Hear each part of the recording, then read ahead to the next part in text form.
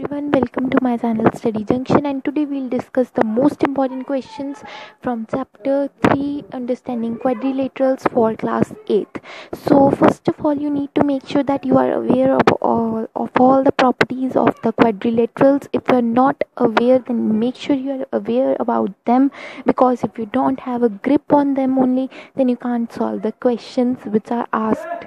So make sure you have a better grip on the properties of all the quadrilaterals. The next thing you need to make sure you know about convex and concave polygons, regular and irregular polygons because these kind of questions come for one or two marks attached or sometimes they come uh, just uh, uh, question suppose a question is for four marks the uh, sum is for three marks and then the property is asked whether it is convex concave regular or irregular so it's for one mark. So you don't have to lose your marks just uh, make sure you know about them then is the angle sum property i think you might be aware about the angle sum property. If you're not then this chapter is based on that only. Make sure you are aware.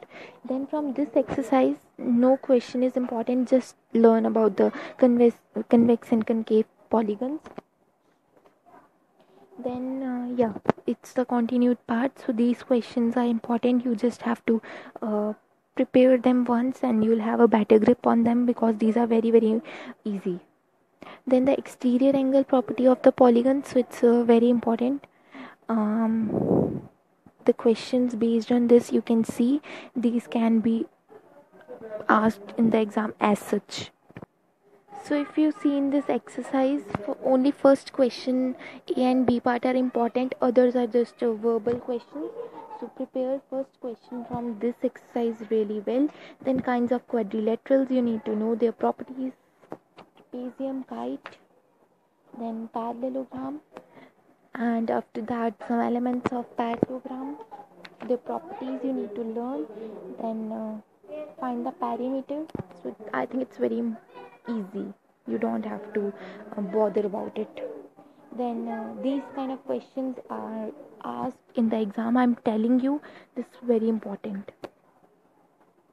So this is also important. Then this example. I'm telling you this example can make a difference. You have to prepare it really well. It's very simple it's nothing but very simple question if i say. But you need to just not ignore these. So with this exercise if i say at all you have to prepare it very well because it's very important. This question seems very hard but it's very important as well as easy. So this yeah this also this type of question is asked.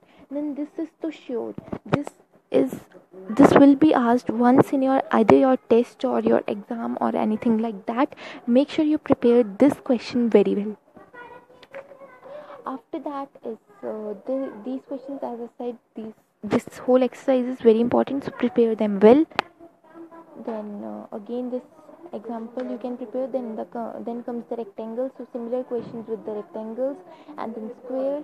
So this exercise i think it's not very very important but this question explain how a square is a quadrilateral parallelogram rhombus rectangle.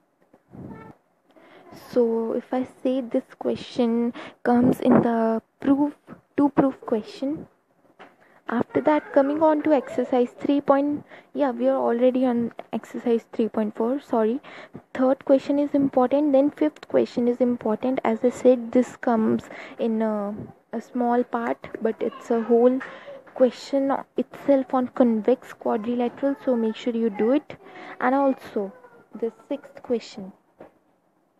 Sixth question is also very important. This kind of questions uh, generally come in the exam so this was it about this video but make sure you just uh, once read what we have discussed what have we discussed quadrilaterals and the properties. So these are very important. As i said earlier if you don't know the properties itself then you will not able to just um, learn how to solve the question. So make make sure you do it really well. In the next video i'll tell you the important questions from practical geometry. So do watch the next video also and the previous videos also for knowing the important questions from chapter 1 and chapter 2 rational numbers linear equations in one variable. So hope you like this video. Don't forget to share it with your friends and also subscribe to my channel. Thank you for watching